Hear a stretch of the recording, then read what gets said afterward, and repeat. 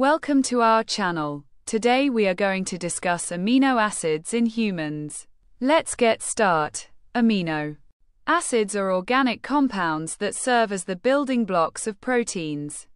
They play crucial roles in various physiological and biochemical processes in the human body. Dietary sources of amino acids animal-based, meat, fish, eggs, dairy products plant-based, legumes, nuts, seeds, quinoa, soy products.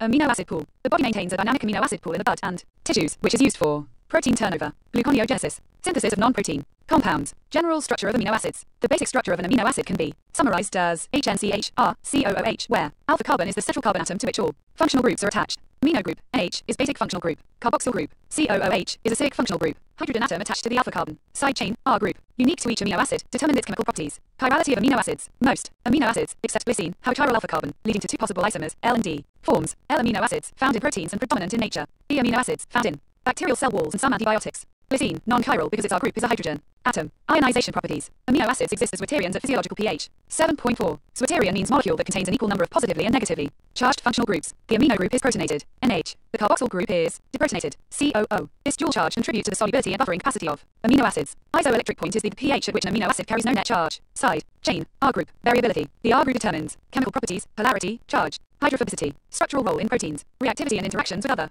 molecules. The side chain's properties form the basis for classifying amino acids. For example, non-polar, polar, acidic, basic, peptide bond formation, peptide bond, formed by a condensation, reaction between the carboxyl group of one amino acid and the amino group of another. The resulting bond is planar and rigid due to partial double bond character.